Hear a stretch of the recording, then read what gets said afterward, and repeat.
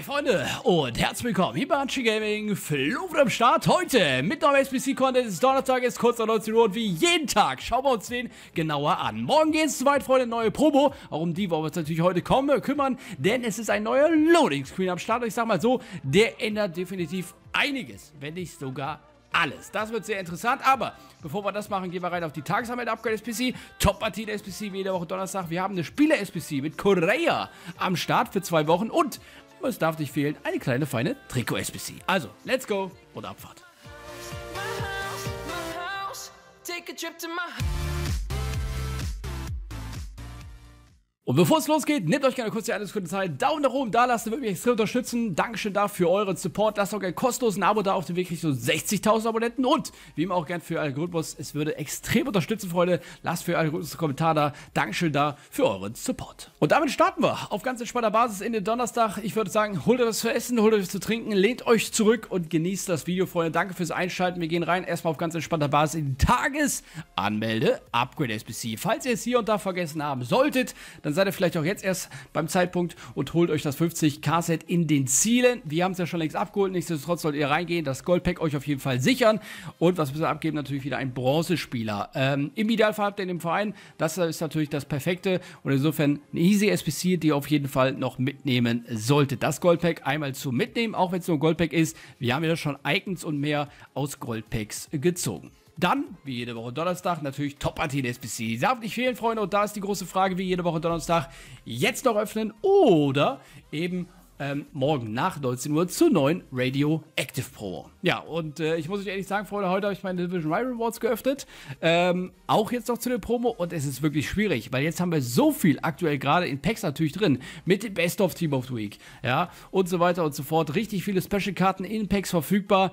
Da muss ich mal gerade überlegen, ob wir überhaupt morgen nach 19 Uhr beziehungsweise dann ein XXL Pack Opening machen. Ich werde ein paar Packs auf jeden Fall ready machen. Mal schauen, wie viel es werden. Wahrscheinlich nicht wieder wie beim letzten Mal über 30 bis 40 Packs, sondern vielleicht diesmal maximal 20. Schauen wir uns morgen an. Aber Top Partien SPC ist da und die 5 Packs solltet ihr euch auf jeden Fall euch holen. Premium Gold Proof Pack gibt es als Gruppenreward. Wir haben eine Woche Zeit, auf ganz entspannter Basis natürlich die SPC zu machen. Alilal Al Nasser, da haben wir auch einen Showdown. Darf natürlich nicht fehlen. Dann haben wir Feyenoord gegen PSV und Newcastle gegen Menu, genauso wie wie Barca gegen Atletico Madrid. Wie immer sehr, sehr low-rated Squads, 76, 75 hier. Wir haben hier mindestens Silber und hier haben wir mindestens Bronze sogar als Spielerqualität. Und ich muss ja sagen, durch die Frauenteams, die jetzt auch am Start sind, die man auch hier nutzen kann, bei Barca, Atletico Madrid zum Beispiel oder hier in dem Fall jetzt hier auch bei Man United, die Spielerinnen, die man nutzen kann, ähm, es gehen, ich habe gerade mal hier geschaut bei dem Beispiel Barcelona Atletico Madrid, die gehen nicht wirklich mehr hoch vom Preis. Ähm, also insofern, ihr könnt mal schauen in eurem Verein zu den jeweiligen Squads, dass er dann auch äh, quasi Profit mitmacht mit dem jeweiligen Verkauf von dem einen oder anderen Spieler. Äh, in Bezug auf Trading könnt ihr definitiv machen, was ich euch eben empfehle, weil wir einfach hier auch vier weitere Packs am Start haben, die auf jeden Fall abzuschließen. Die Frage, die ihr euch eben stellen müsst, ist, Schließt das jetzt noch ab, öffnet die Packs jetzt noch oder erst morgen nach 19 Uhr. Schreibt das auf jeden Fall mal rein runter in die Kommentare, wie ihr da vorgeht. Oder spart ihr überhaupt grundsätzlich für die morgige Promo einiges an. Auf die morgige Promo kommen wir gleich noch zu sprechen. Bevor wir das machen, gehen wir erstmal rein und zwar zu der Thierry Korea äh, SBC. Ein Rechtsverteidiger aus der La Liga, Portugal linke Star, Valencia und ein Segment für den Rechtsverteidiger, den wir hier am Start haben. 1,76 groß, 3 Sterne, 4 Sterne. Wie gesagt, eine Live-Card natürlich. Rechtsverteidiger RV und RM kann sich natürlich upgraden, kommt vor allen Dingen mit ordentlich Tempo um die Ecke. 92 Base-Tempo, 90 Antritt, 94 Sprint-Tempo. Das ist auf jeden Fall ein Win. Ja, und sonst sieht er eigentlich ganz mit aus, sage ich jetzt mal nett gesagt. Also, ich sage mal so, Pace hat er ja. Äh, wir haben Bellerin auf der Rechtsverteidigerposition. Ich zeige euch nachher ein paar Alternativen. Ich sag's mal so, ist ähnlich wie gestern so ein bisschen die SPC, ähm, oder vorgestern besser gesagt, ähm, mit der Romero-Karte.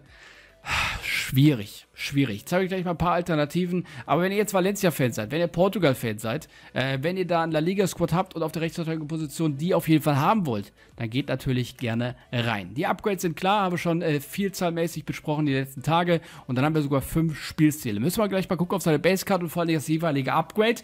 Wie gesagt, es ist eine Live-Karte und abgeben müssen wir dafür.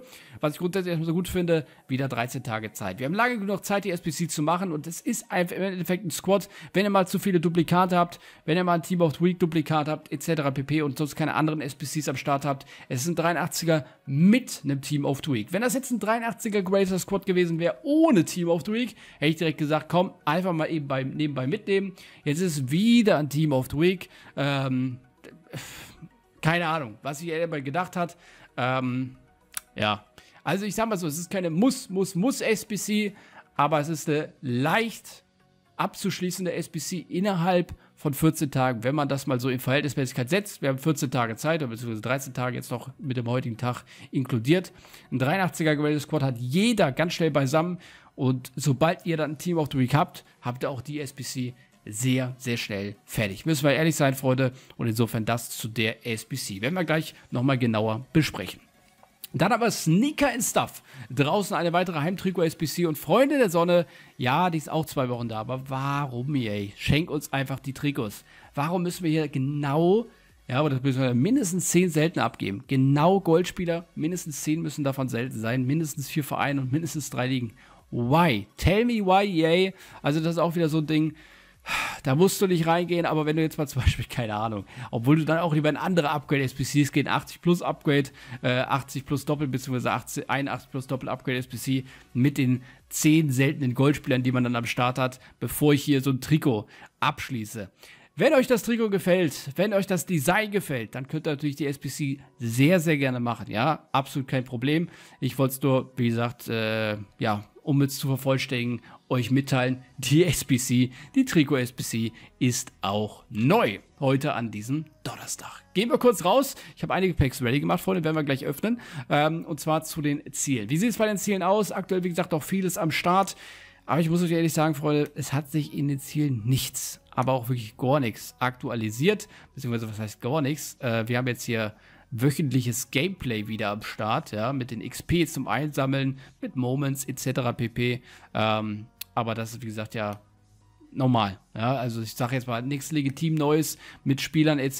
pp. Das wird dann morgen alles wiederkommen, wenn wir thematisieren. Also Ziele abgehakt und dann geht's rein in den Store. Haben wir noch das 30 Münzen Schrägschicht 10 Münzen Pack am Start, EA? Oder hast du uns das auch schon weggenommen? Wie sieht's da aus? Hier 180 und 400er. 30.000, da ist das 10 Münzen Pack. Fangen wir mit dem mal an. Let's go. Energizer Pack Number One. Abfahrt. 10 Münzen gibt uns heute Deutschland. ZOM, come on. Ah, Reus. Ich glaube. Oh, Brand. Okay. Noch ein bisschen besser. Noch ein bisschen besser. Den 84er nehmen wir gerne mit. Siehst du, den habe ich mir auch noch nicht am Start. Ich glaube, die anderen beiden habe ich. Insigne, yes. Träumer, yes. Okay, machen wir kurz einen Discard. 30 Münzen Back, bist du auch noch da? Ich hoffe sehr. Eins Step wieder zurück. Promo Packs, here we go. 30 Münzen Pack, adios. Äh, sehen wir nicht, ist nicht da. Okay, 10 Münzen Pack, zumindest etwas, war oder beziehungsweise ist noch da. Dann sind das die angespannten Packs, Freunde. Die gehen wir jetzt rein, bevor wir gleich mit Radioactive und Co. weitermachen. Ah, ich falle immer drauf ein. Das war das Goldpack.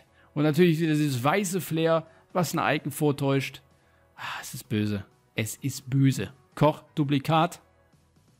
Ja, und lasst mich einfach, wie gesagt, in den Kommentaren sehr, sehr gerne wissen, äh, ja, wie viel Packs spart ihr auf? Äh, oder sagt ihr jetzt, komm, es ist gerade so viel an Special-Karten in Packs. Ich werde im Verlauf der Woche, wenn dann ab morgen 19 Uhr quasi Neues in Packs ist, noch genug, genug Packs öffnen ähm, und äh, werde jetzt keine großartig ansparen. Lasst mich das sehr, sehr gerne wissen. Würde mich auf jeden Fall extrem interessieren. Primo Goldpack, drei seltene am Start. Machen wir, was es gibt. Wieder Argentinien.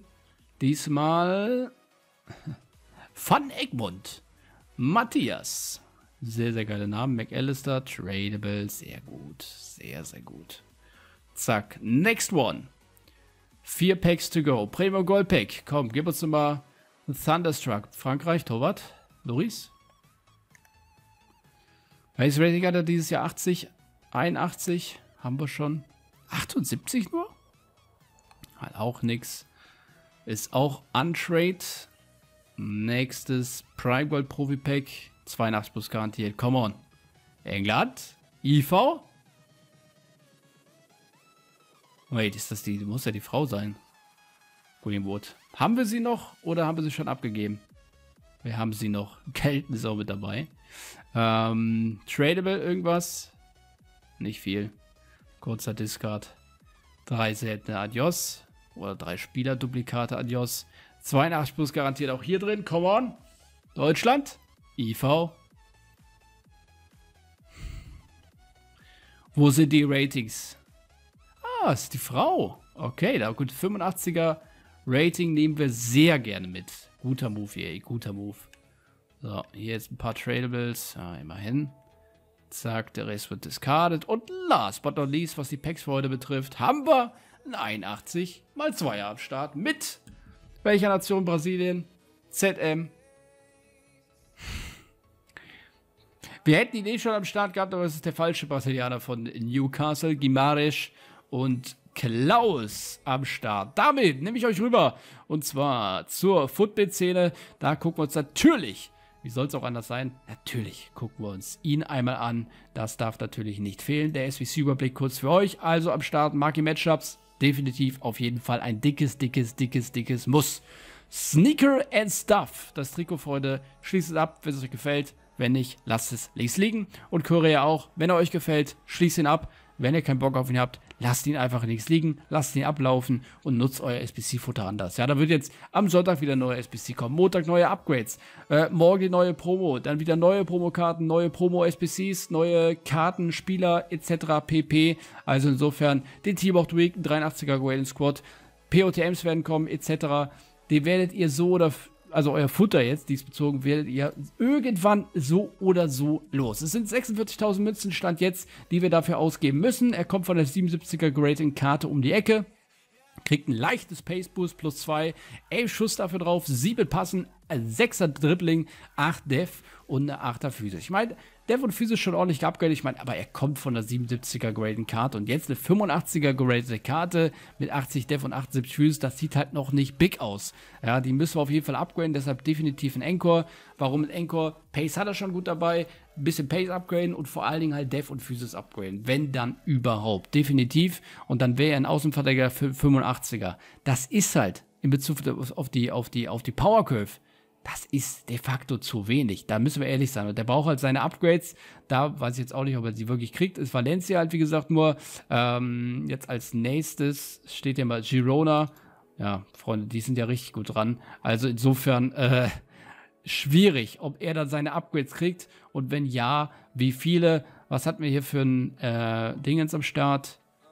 Ja, 27% und Daumen hoch, 73% Daumen runter würde ich tatsächlich aktuell tatsächlich mitgehen. Und ich würde die SBC innerhalb der zwei Wochen mache ich wahrscheinlich nur, wenn irgendwann mein Futter ich nicht mehr in andere SBCs packen will, dann mache ich vielleicht im Worst Worst Case diese SBC und komplettiere die damit. Aber generell, na, also äh, der, der haut mich jetzt hier nicht vom Mocker, sage ich jetzt euch ehrlich. Also, ne? Und wir gucken mal gerade auf die Playstyles, das würde mich noch interessieren. Auf der Base hatte er schon fünf immerhin.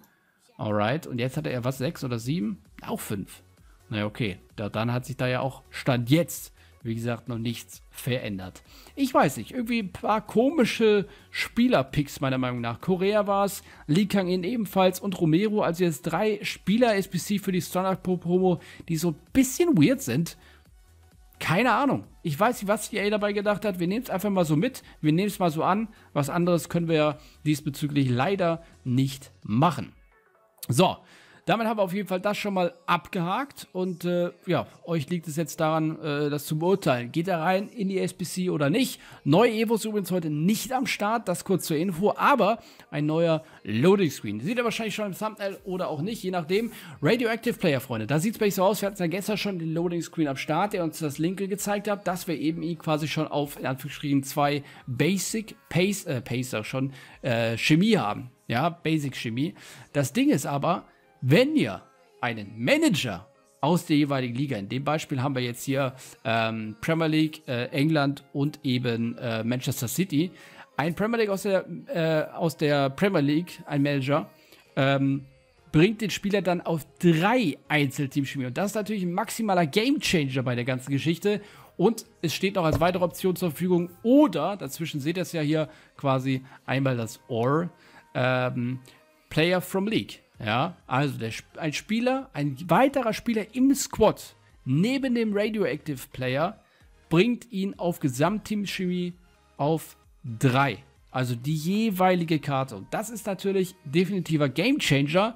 Was sich dabei EA gedacht hat, haben wir gestern schon ein bisschen thematisiert, weil wir natürlich einen jeweiligen Squad draußen haben. Lasst mich gerne mal wissen, was ihr von dieser Chemie Boost von dieser Chemie-Taktik äh, von EA denkt. Ich finde es auf jeden Fall eine richtig nice Geschichte. Ich finde es passend für die jeweilige Promo.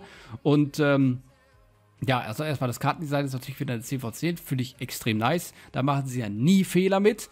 Aber dass wir eben Base-Chemie von 2 haben, ja, und sie dann relativ simpel auf 3 boosten können, mit eben jeweils nur ein Spieler aus der jeweiligen Liga oder ein Manager als Zusatz, oh yes, das ist sehr, sehr, sehr, sehr, sehr attraktiv und das ist auf jeden Fall meiner Meinung nach ein absoluter Gamechanger. Das ist ein absoluter Gamechanger und wenn wir uns das, das Team nochmal anschauen, äh, wer da so mit dabei ist, äh, dann seht ihr hier schon, äh, ja, dass wir unter anderem eben auch Karten dabei haben, die wir halt eben sonst sehr schwierig linken können, beziehungsweise schwer auf Chemie bekommen äh, würden.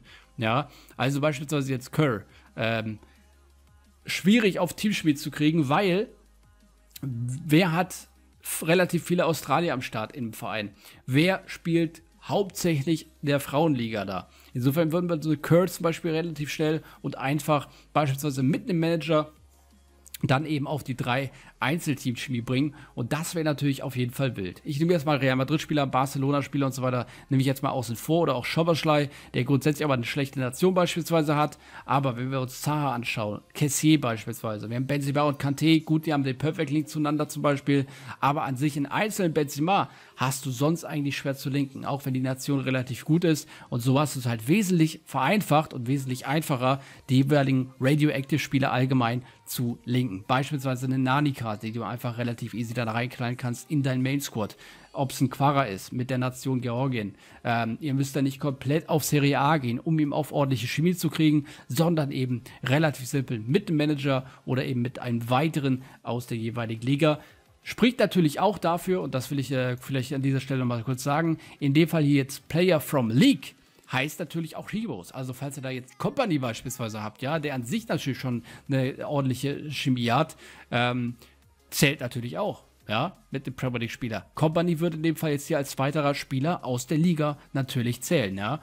Also insofern das auf jeden Fall auch im Hinterkopf haben und äh, da solltet ihr auf jeden Fall einfach mal schauen und es einfach als, als Win, sage ich mal, betiteln ich, ich tue es auf jeden Fall, äh, zu sehen, okay, wir haben die Möglichkeit, diese Karten, die morgen um 19 Uhr in Packs kommen, da wird auch wieder Mini-Release mit dabei sein und so weiter und so fort, der dann vielleicht am Sonntag erst kommt, aber grundsätzlich haben wir es einfach, die Karten, wenn wir sie denn dann ziehen, das müssen wir natürlich als erstes machen, ähm, oder kaufen auf dem Transfermarkt, ähm, dass wir dann eben sie relativ gut linken können. Finde ich ein Big Win von EA. Finde ich sehr, sehr, sehr, sehr nice. Hat EA auf jeden Fall sehr, sehr nice gemacht. Und wir werden uns das morgen on Detail anschauen. Und vor allen Dingen, wie gesagt, die Stats sind hier noch nicht confirmed. Ja, nur die Spieler an sich. Aber da bin ich sehr darauf gespannt, vor allen Dingen auf die Upgrades der jeweiligen Spieler. Also, was bleibt uns, Freunde? Wir können uns freuen mit jetzt morgen, dem letzten Tag der großen, großen, großen Black Friday Promo und die Vorfreude auf die Radioactive Promo, die auf jeden Fall ansteht. Heißt, wir werden jetzt auf jeden Fall bis morgen Abend auf jeden Fall einige Packs hier auf dem Account noch ready machen, dass wir morgen wieder ein XL-Video äh, und Pack-Opening vor allen Dingen reingehen können. Ich freue mich extrem drauf. Ich hoffe, ihr seid da auf jeden Fall wieder mit dabei. Und falls ihr jetzt noch mehr von mir sehen wollt, Freunde, dann könnt ihr euch hier sehr gerne meinen Ligen SPC Grind einmal anschauen während der Black Friday Pro. War auf jeden Fall sehr, sehr nice mit euch da reinzugehen. Ligen SPC Methode absolut wild und absolut underrated. Und hier noch ein weiteres Video, Freunde, hier unten, falls ihr es auch noch nicht gesehen haben solltet. Lasst gerne Liebe da, wenn es euch gefallen hat. Dankeschön für für euren Support und mich würde es freuen natürlich, wenn ihr morgen wieder einschaltet. Vergesst nicht, Glocke aktivieren und damit euch einen entspannten Abend. Haut da rein und bis zum nächsten Mal. Ciao, Leute.